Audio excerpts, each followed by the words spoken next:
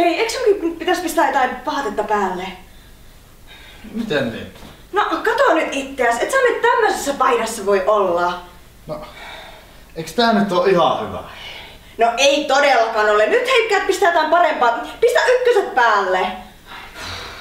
Okei. Okay.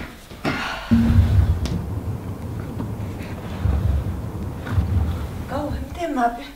Pistän vai korvan taakse vai ei? Vai molemmat? Hani hei, onko tää mun tukka nyt oikeesti ihan hyvin? No on, on. Sä oot oikeesti maailman kaunein. Hei, tota, missäköhän ne mun housut on? No siellä on makuuhuone siellä vasemmassa kaapissa. No joo joo, mutta ei, ei ne kyllä nyt siellä ole.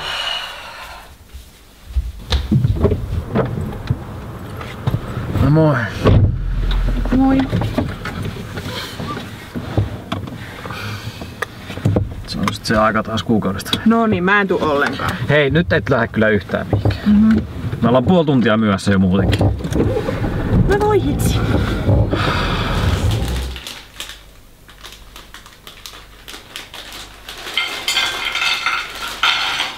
No niin, Hani. Mm? Tää on aika hyvä. No eikö tuo nyt vähän liikaa? Okei, okay, Hani. No, oliko sulla myöhästymiselle joku syy? No oli vähän juttuja. No, joo.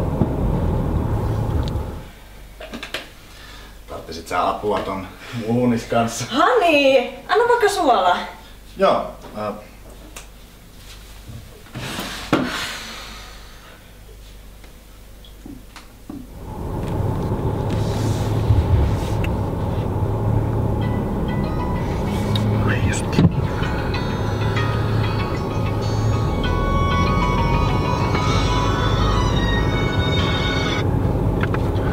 Risto.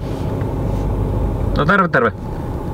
Joo, me, tota, me ollaan itse asiassa ihan, ihan, ihan kohta tulla, ollaan tässä kohta siellä. Joo, kohta ollaan. Kyllä, joo, no niin, joo, no niin, moi. Siellä nyt soitteli sitten. Soitit sä niille? joo joo. Kato, mä kävin ostamassa viiniäkin. Se on portviiniä.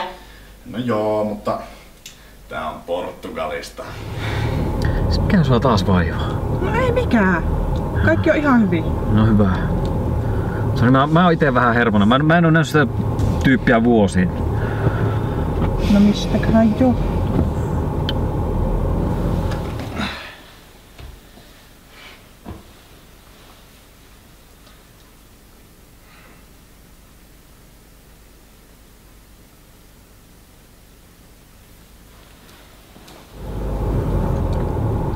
Mitä? Ei helekatti. Sitä on ihan tukossa takti. No oliko pakko valita tämä reitti? No, Mä sanoin. joo.